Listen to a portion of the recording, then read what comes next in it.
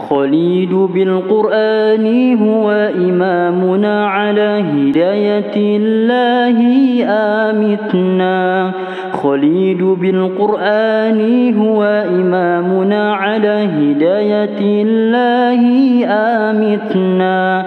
كلام ربنا هدايتنا. أطاه جبريل على رسولنا. كلام ربنا هدايتنا. أطاه جبريل على رسولنا